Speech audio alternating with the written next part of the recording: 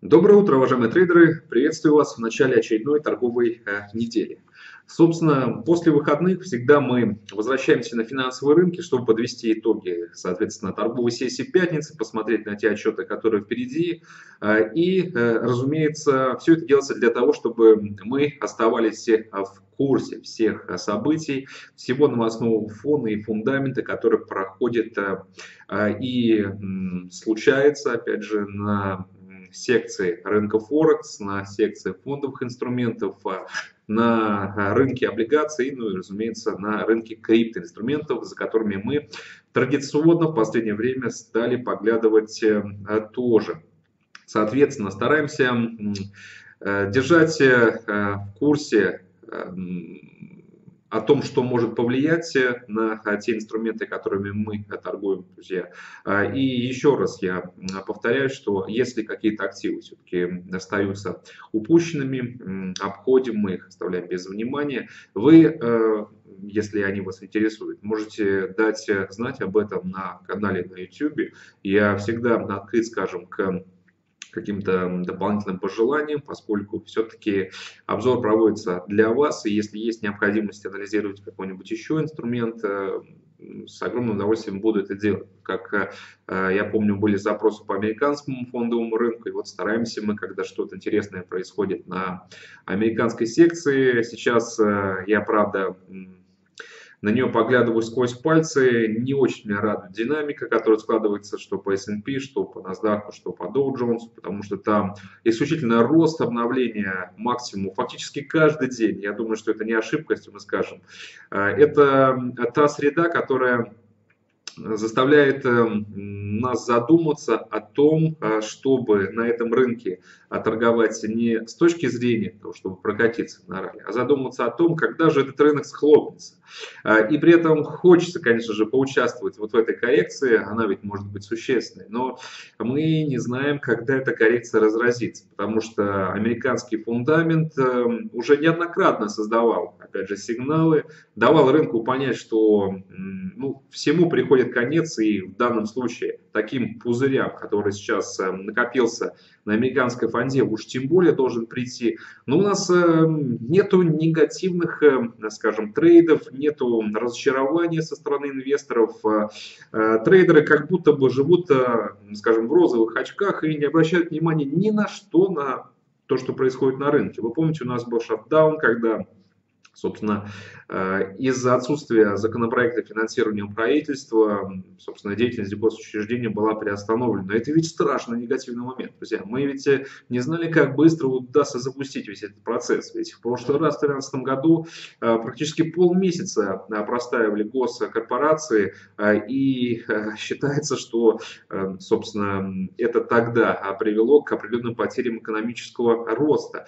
А если оценить динамику американского фондового рынка уже в контексте той истории, которая была, у нас эм, логика тогда доминировала на рынке. Поэтому как только этот новостной фон ну, случился, мы помним, что американская фонда потеряла больше 5%. В этот раз, еще раз повторяюсь, друзья, рынок э, как будто бы, живу, э, находясь в вакууме, просто игнорирует все вот эти негативные новости, которые появляются. Хорошая статистика, плохая статистика, неважно. Американский фондовый рынок растет. Я вам проводил еще параллели по поводу того, насколько сейчас э, крепко вот это расхождение между покупками, прогнозами на улучшение, между прогнозами на понижение а прибыли корпоративного сектора. Говорил, что последний раз такое было в 2010 году, тогда коррекция привела к обрушению американской фонды больше, чем на 15%. Это тоже довод, чтобы быть крайне осмотрительным к текущей динамике. Но американский фондовый рынок, как будто бы на зло всем, продолжает обновлять исторические максимумы. Друзья, я все-таки советую вам присматриваться, опять же, если вы торгуете этим инструментом, только к коротким позициям. Ищите уровни, пользуйтесь техническим анализом, если он вам помогает. А, но держитесь, пожалуйста, подальше от длинных позиций, потому что они сейчас заманчиво выглядят, когда американский фондовый рынок растет и кажется, что рост будет продолжен и дальше. А, но а, вы должны понимать, что ситуация, которая сейчас происходит на американском фондовом рынке, это абсолютно необычная, нетривиальная ситуация ситуация. А, и нам не удастся, опять же, наблюдать э, полномерное снижение. Нам не удастся там, поработать с какой-то незатяжной коррекцией, прежде чем, опять же, появится возможность для дальнейшего роста. А если на этом рынке, который сейчас представляет собой настоящий пороховой заряд, пойдет коррекция, она будет затяжной и существенной. И я не хочу, друзья, чтобы, опять же, потеря этого индекса, опять же, капитализация S&P, у них, я думаю, свойственны будут схожие потери NASDAQ и до 10% э, вы представляете без плеча, с плечом это и вовсе абсолютно сразу слив всех депозитов, чтобы вы столкнулись с этим. Поэтому будьте осмотрительны. Э, прошлая торговая неделя была интересна. Несколько отчетов э, действительно были достойны внимания, но основной новостной фон у нас касался форума в Давосе. И выступления э, чиновников, представителей монетарных властей отдельных регуляторов э, и стали причиной той волатильности, которую мы с вами наблюдали. Вот особенно хочу отметить, очень много дров наломал Стивен Мучин, который является главным казначеем США, возглавляет Министерство финансов, потому что он позволил себе сделать своего рода интервенцию словесную, отметив, что экономики скажем, во благо, слабый доллар. Мы помним, как пытался реабилитироваться Трамп, опять же, сделал совершенно обратное суждение о том, что экономика, будучи крепкой, нуждается в такой же крепкой национальной валюте. И вот мне было крайне интересно наблюдать за выступлением Драги, который, а, в принципе, а, очень а, рьяно, ну не скажем жестко, но все-таки на повышенных тонах критиковал позицию, которую позволяют себе сейчас проводить в ходе таких серьезных э, фундаментальных событий, как э, Всемирный экономический форум от монетарной власти э, США. Потому что ну, мы, Драги, прекрасно понимаем, Драги возглавляет Европейский центральный банк. Они действуют в рамках тех полномочий, которые есть, и, соответственно, пытаются через мягкую экономическую политику повлиять на курс валюты, потому что курс валюты влияет на инфляцию. Это цель по инфляции 2%, основной ориентир для деятельности Европейского центрального банка.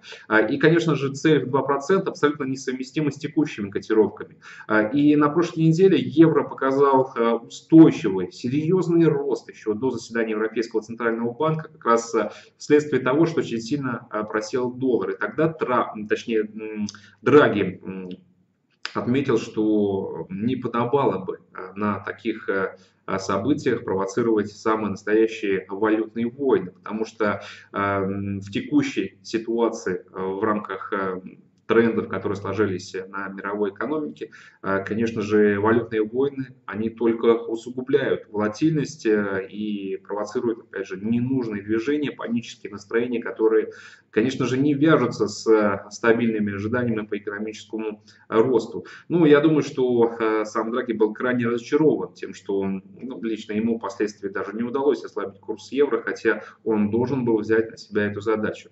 Надеюсь, что рынок все-таки начнет придерживаться большего логичного взгляда, оценки, э, которая должна сейчас проводиться в отношении собственно, регионов, в отношении валют, которые стоят за ними. Вот нас интересует, собственно, евро, нас интересует доллар и прочие активы рынка Форекс, на которые мы обращаем внимание.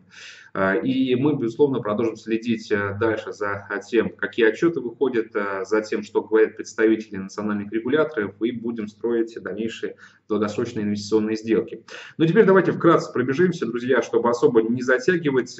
Будем больше останавливаться на инструментах по мере выхода интересной статистики. Ну, начнем с э, нефтянки. 70.04 это закрытие, собственно, прошлой торговой недели, пятница, котировки сейчас на таких же уровнях. Мы видим, что рубеж психологически уже самый настоящий 70 для бренда держится, быки не прорываются выше и, собственно, медведи никак не могут перехватить инициативу, чтобы а, спустить инструмент а, пониже этой планки.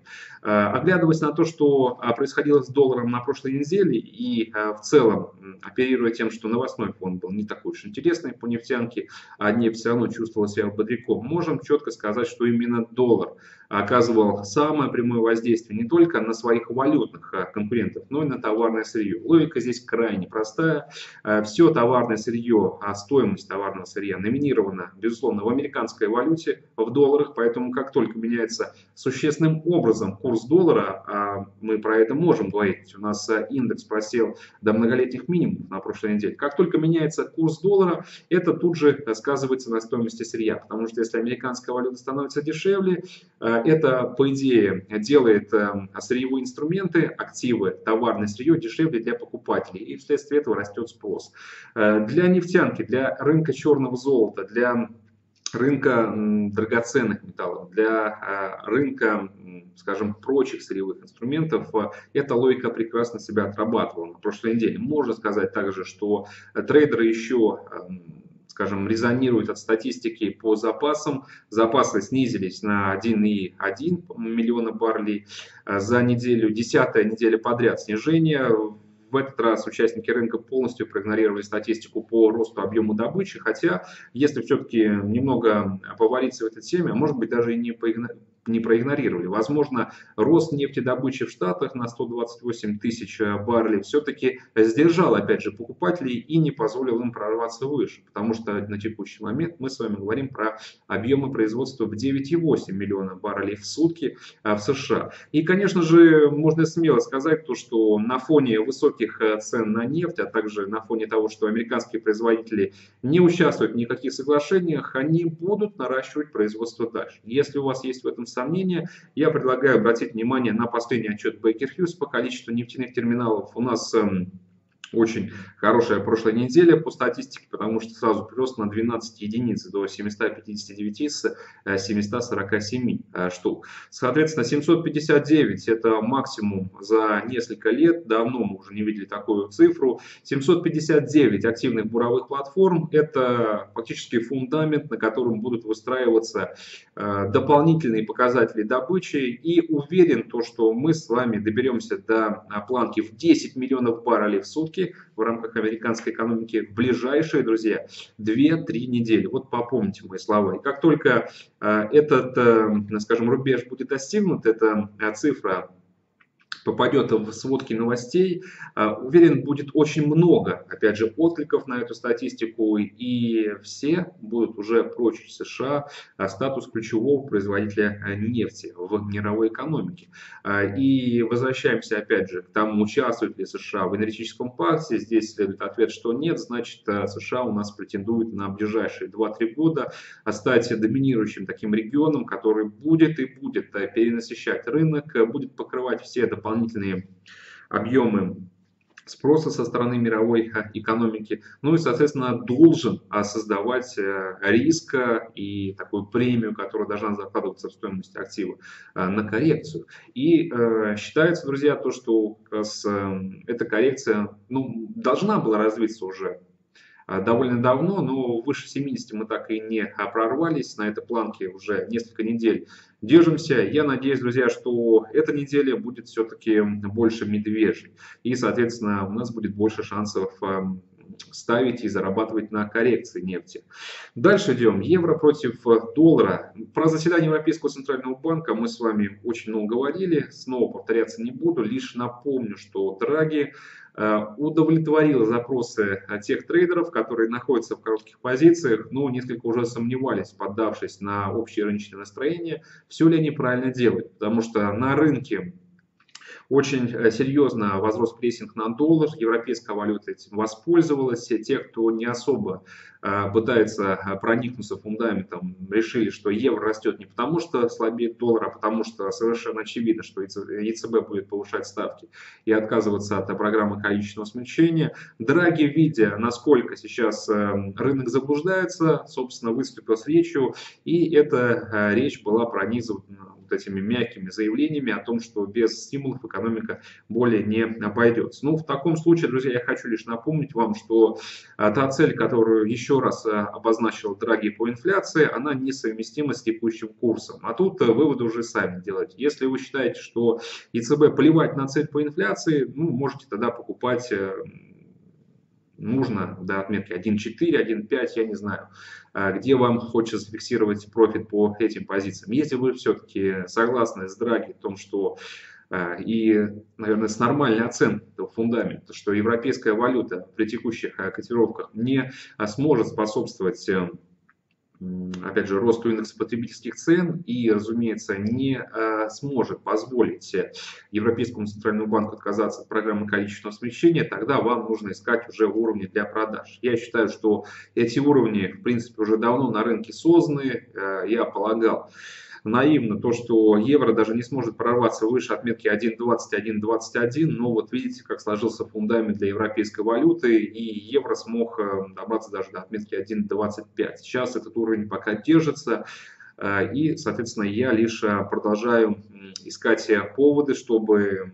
их хватило их было достаточно рынку и тем трейдерам, за которыми все-таки стоят большие деньги, трейдерам, которые реально могут повлиять на ту динамику, которая на рынке а, происходит. А, считаю, что, друзья, короткие позиции куда более привлекательны, особенно сейчас с учетом текущих уровней, а, и решение в любом случае принимать вам. Я поддерживаю ASL и думаю, то, что многие из вас разделяют такую же позицию. Фунт против доллара, в отличие от евро, здесь я смотрю только в лонг. Еще раз отмечаю, что если вас не устраивает статистика, вам можно оперировать прогрессом по Brexit, который уже совершенно очевидный факт. Если вам не нравится копаться в этих политических интригах, э, в том, как идут обсуждения и переговоры по Брекзиту между Англией и Европейским Союзом, тогда смотрите за статистикой, потому что поддержки хватает э, везде. Вот, собственно, отчеты прошлой неделе по экономическому росту у нас в квартальном выражении прироста по ВВП с 0,4 до 0,5, а в годовом чуть э, небольшое снижение с 1,7 до 1,5%. Ну да, если сравнивать э, темпы экономического роста Англии с другими развитыми рынками, Англия существенно отстает. Но мы понимаем, с чем это связано. Англия отстает, потому что серьезно просела просела потребительская активность, а потребительская активность просела из-за чрезмерного ослабления курса валюты а, и разгона а, инфляции. Но с этим уже борются. Посмотрите по а, тому подходу, которого сейчас придерживается Банк Англии касательно процентных ставок. Мы знаем то, что Банк Англии рад был бы поднять ставки, но пока все-таки немного переживает, уместно ли это сделать сейчас, но не э, дает нам шанса, опять же, рассуждать э, относительно мягкой экономической политики. Лишь постепенно готовит нас к тому, что ставки будут э, повышаться. Соответственно, мы можем смело оперировать более жесткой монетарной политикой в рамках Англии и в связи с этим рассчитывать на изменения в будущем процентных ставок, ну и на логичный отклик в курсе британцев. Фунт у нас растет выше отметки 1.40. Я думаю, что это только лишь начало к текущей Э, коррекции можно относиться спокойно к тому, что это нормальный рыночный цикл после такого восходящего движения. Эм, ну да, э, возникает и обратная тяга, которая возвращает обычно к ближайшим мощным поддержкам. А курс валюты в данном случае это уровень 1.40. Сейчас фунт у нас держится даже выше этой планки 1.40, 1.40. Но я думаю, друзья, что для тех, кто держит длинные позиции, можно смело ориентироваться на прежние уровни, которые мы, правда, а, с вами поставили на середину этого года. Это 1.45, 1.47. Но очень быстро все-таки развиваются события сейчас. Доллар, японская иена. Э, здесь можно говорить про, скажем, влияние э, двух выступлений Мнучина и Трампа на курс доллара. А, к сожалению, пока что рынок еще не определился, что стоит отыгрывать явные протекционистские высказывания Мнучина, либо все-таки лучше заложиться под последний комментарий Трампа о том, что экономики крепкой, сильной, нужна такая же валюта. Э, Собственно, статистика у нас пятница еще. Годовые данные по ВВП 2,6% в соответствии с прошлой оценкой. Сильный показатель. Параллельно еще вышел отчет по заказам товара длительного пользования. Максимальное значение с 2009 года это 2,9%. Но мы видим то, что и заказы действительно растут, и а, экономический рост э, один из самых лучших за последние несколько лет. И все это опирается на бешеные капиталовложения, на бешеные инвестиции и очень высокие показатели активности национальных домохозяйств и потребителей, друзья. Явно доказывает это еще и динамика доходности трежерис. Мы видим, как десятилетки сейчас котируются на максимум больше, чем за 40 последних месяцев. 2,68 показатель доходности. Это такие ставки, которые раньше могли бы, скажем, увязываться только с крайне дорогой валютой. Сейчас что-то сломалось. И я все-таки надеюсь, то, что рынок э, больше положится именно на а, текущие показатели доходности американского долгового рынка. А, и доллар сможет вытащить сам себя, потому что у него есть для этого достаточно поводов и оснований. Кстати, эта неделя будет крайне интересна для доллара. Я думаю, что у доллара будет отведена ключевая роль, как и на прошлой неделе, потому что если раньше мы не эм, ожидали, что Давосский форум приведет к таким серьезным движениям, в этот раз у нас есть ожидания. Э, и они связаны с статистикой по рынку труда Штатах, Non-Farm Payrolls, который на этой неделе. У нас на этой неделе также выступление Трампа, которое обязательно коснется снова и, а, собственно, курса доллара, я уверен в этом. Плюс ко всему мы а, продолжаем следить за тем, как рынок а, адаптируется к налоговой реформе и ищем, собственно, поводы для покупок там для долларов. Ну и, безусловно, на этой неделе еще и заседание ФРС с процентной ставкой. Э, конечно же, сейчас ставки менять не буду, друзья, хотя все может быть. Нас интересуют э, только очередные жесткие комментарии, потому что американская экономика готова к новому циклу ужесточения э, режима.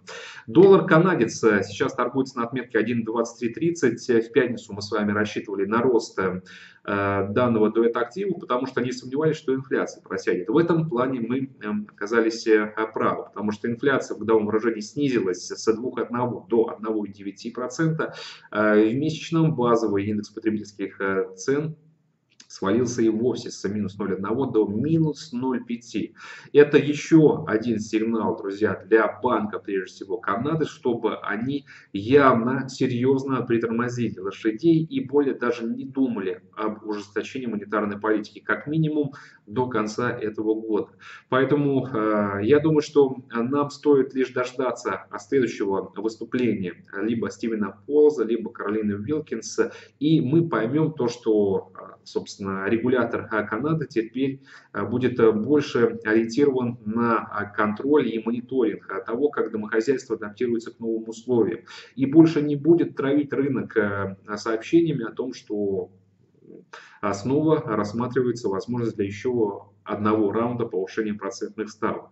А, это что касается Канады. Не забывайте, что здесь еще глобальный риск, связанный с пересмотром торгового соглашения нафта. Здесь еще риск для канадцев в виде роста доллара и слабости нефти. Вот как раз на этом мы все и делаем сейчас большую ставку. Поэтому, ну, лично для меня доллар канадец это сейчас, возможно, так же, как и фунт, одна из самых интересных э, инвестиционных идей для долгосрочного трейда. И уверен, то, что доллар канадец с фунтом а, смогут э, обеспечить, если вы, опять же, заложите эти сделки в ваш портфель, очень хорошим доходом. Э, только лишь нужно следить за фундаментом, ну и не позволять, э, опять же, текущим тенденциям, которые сложились, кажутся они весьма убедительными а в плане того, что канадец и дальше будет крепчать, а доллар валится. Все-таки копать чуть поглубже и видеть эм, предпосылки там, где их многие не видят. А, потому что так же, как и с американским фондовым рынком, сейчас сложилась такая ситуация, которая не допустит э, легкой небольшой коррекции, чтобы, скажем, трейдеры вышли в себя, вовремя закрыли скажем, сделки в одном направлении и переориентировались в другое. Я думаю, что коррекция на рынке Форекс даже будет существенной. Если доллар осознает то, что у него есть достаточно поводов для роста, э, даже против иены мы увидим исходящее движение сразу несколько э, фигур. И, возможно, это будет такой же затяжной серьезный тренд, как мы наблюдали в начале, вы помните, 2017 года. Возможно, то же самое произойдет и сейчас. Из важных отчетов текущей торговой сессии смотрим и ждем личные доходы доходы, личные расходы. Это статистика, которая характеризует потребительский сектор США, и эти данные будут опубликованы сегодня в 16.30. По прогнозам у нас хорошие цифры, смотрим, как на них отреагирует доллар. Друзья, на этом, собственно, все. Большое спасибо всем за внимание. Хорошей, удачной вам и текущей торговой сессии, и всей торговой недели. Увидимся, соответственно, завтра, как и всегда, в 9.30 по московскому времени. Всего доброго, до свидания.